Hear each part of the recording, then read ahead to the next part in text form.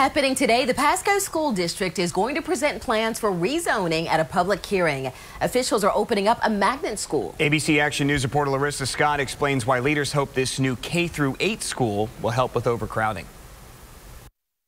Pasco County school leaders say they've been planning the opening of Starkey Ranch K through 8 for a while. It's the first K through 8 school in the district. The magnet school is being built in the Starkey Ranch subdivision, and at today's public hearing, officials are proposing to draw the boundaries that include the neighborhood, but then also have spaces available in the school that are going to be open for people to apply to.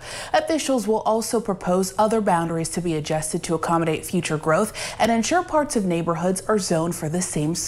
Staff is recommending boundary changes to Longleaf Elementary, Odessa Elementary, River Ridge Middle, Watergrass Elementary, and Wesley Chapel Elementary to be effective July 1st, 2021. Leaders are hoping the appeal of the new Starkey Ranch Magnet School will pull students from other schools to help with overcrowding all over the district. Officials tell us they anticipate continued growth of about 1,000 to 2,000 students a year for the immediate future as people continue to move to Pasco County. Every time time the district builds and opens a new school, it has to rezone, which has been multiple times over the past few years. So it's certainly not unusual in a school district that's growing like ours, and we're having to build new capacity to take care of that, to have a rezoning uh, every year. That's not uncommon. And coming up in our next half hour, how Pasco County school officials will address the growing number of COVID-19 cases across the district at today's workshop. Reporting from Tampa, Larissa Scott, ABC Action News.